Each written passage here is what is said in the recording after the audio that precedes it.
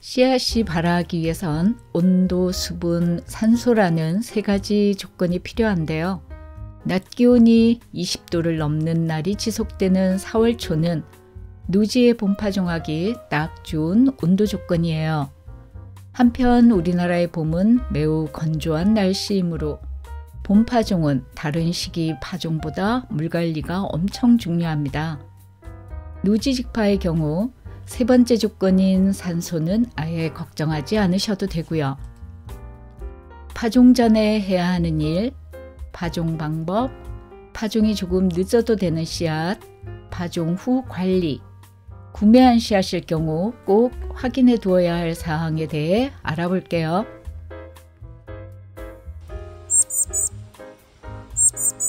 파종하기 좋게 미리 공간을 확보해 둡니다. 제 육묘장에는 가을 파종하여 자라고 있는 새싹들이 있어요. 편하게 파종하기 위해 이들을 옮겨 심고 넓은 공간을 만들어 두었어요. 파종 1, 2주 전에 땅 만들기를 합니다. 가축분 퇴비를 넣으실 경우 2주 정도 지난 후 파종하면 가장 좋은데요. 저는 낙엽과 음식물 쓰레기로 만든 거름을 충분히 발효시켜 넣기에 일주일 전에 땅을 만들어 둡니다. 거름 대신 상토를 섞어 놓고 파종하는 방법도 있지만 상토는 발화 후 한 달 정도 자라는데 필요한 양분만 가지고 있으므로 모종을 키워 옮겨 심는 경우에는 당연 괜찮습니다. 제자리에서 키울 경우 새싹이 어느 정도 자라면 나중에 거름 조금 뿌려주시면 좋고요. 발화하는 데 필요한 양분은 씨앗 안에 이미 저장되어 있지만 생장하고 개화하는 데 필요한 무기물과 질소 양분은 흙 속에 있어야 하기 때문이죠. 파종 하루 전 또는 몇 시간 전에 물을 흠뻑 뿌려둡니다. 저는 파종 전날과 파종 두어 시간 전 두 번에 걸쳐 물을 뿌렸습니다. 봄은 1년 중 가장 비가 적은 시기이므로 다른 시기 파종보다 물 관리가 엄청 중요하기 때문이죠. 온도 다음으로 중요한 발화 조건이 물인데요. 누지직파는 모종판 파종과 달리 땅속 수분이 충분한 경우 매일 물을 주지 않아도 되는 장점이 있어요. 파종할 씨앗을 고릅니다. 제 경우 단연생 씨앗은 여름부터 가을, 겨울에 수차례 파종하므로 봄에 파종하는 건 주로 1년 생 화초인데요. 파종 못한 단연생 씨앗들이 있으시다면 지금 파종하시면 됩니다. 씨앗들 모두 지금 파종하면 되지만 조금 더 늦게 파종해도 상관없는 씨앗들이 있어요. 한여름부터 가을에 걸쳐 꽃피는 것들은 4월 말 즈음에 파종해도 됩니다. 3월 초 파종에 이어 두 번째로 하는 4월 초에 제가 파종하는 씨앗은요. 작년에 체종해 둔 1년 생화초 씨앗들이 가장 많고요. 작년에 체종해 둔 단연생 화초 씨앗도 일부 있습니다. 새로 구입한 씨앗들도 제법 됩니다. 봄파종하는 1년 생화초들에 대해 더 궁금하시다면 지난 영상을 참조해 주세요.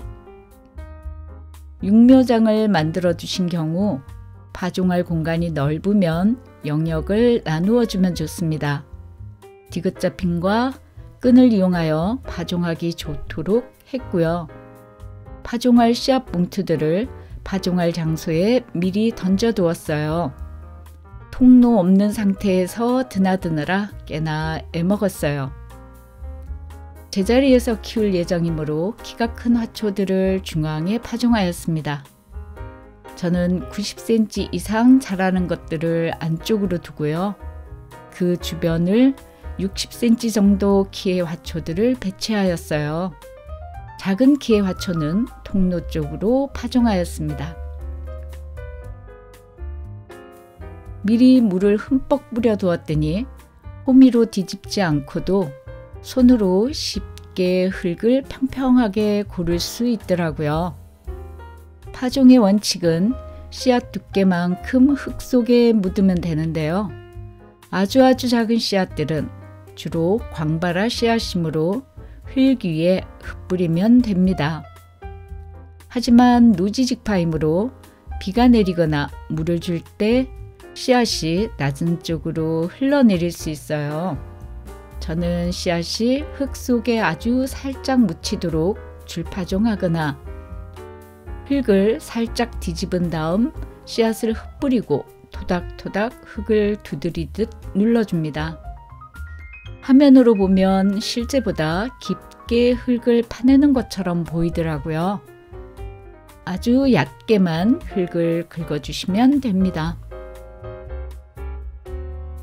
작은 나뭇가지로 줄을 긋듯 살짝 흙을 긁어줍니다.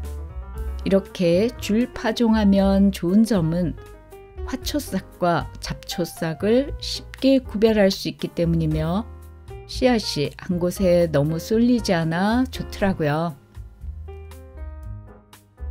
제법 큰 씨앗은 두께만큼 흙에 묻히도록 하는데요.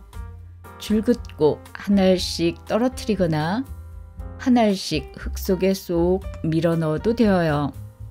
아무래도 큰 씨앗들을 파종할 때 스트레스가 덜하네요.